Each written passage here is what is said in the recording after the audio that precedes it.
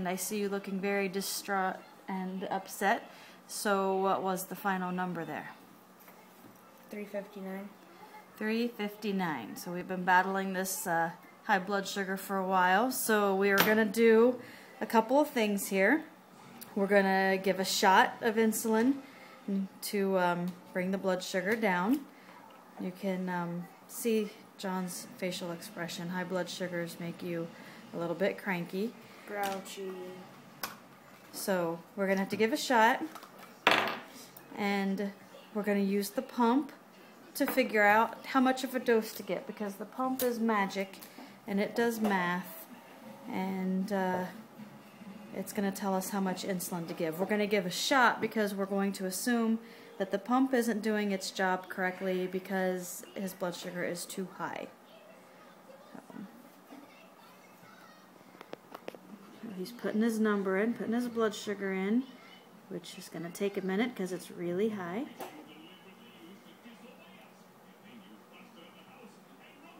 Almost there, 352. Alright, 359, he pushes ACT. It tells us that his blood sugar is high, which we knew, and it says to check for ketones, which we're not going to do. Next, it asks how many carbs he's eating. We're putting in zero because he's not eating any carbs. And then, up at the top, it says how much it wants to give. And it wants to give 7.6, so we're going to round that to 7.5. Okay, so draw and not to give anything with the pump. We're not nope. going to give it with the pump because... Uh, There's a knot in my line. That's why his blood sugar's high right there. He found yep. the problem. Let's go ahead and... Well, no, it's just... Okay.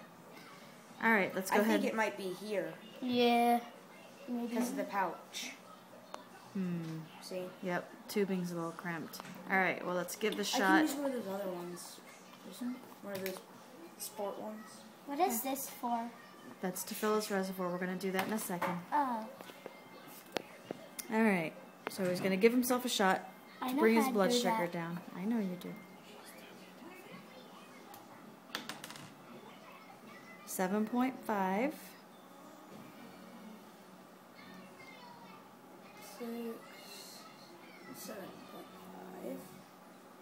Now I'm going to push air into it to make it easier to get.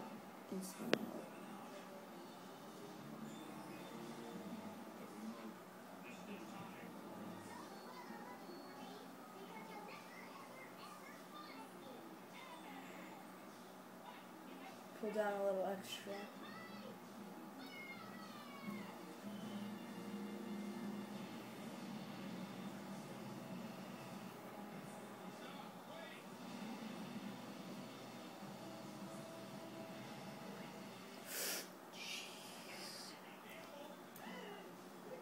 He's getting the air bubbles out.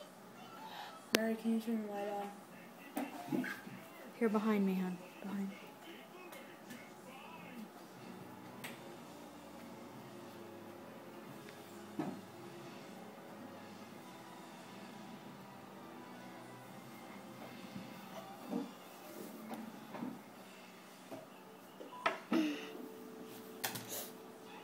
Didn't hit the needle.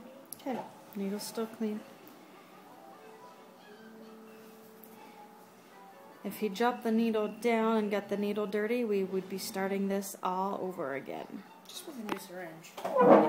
Yep. Alright, so he cleaned his belly off with alcohol.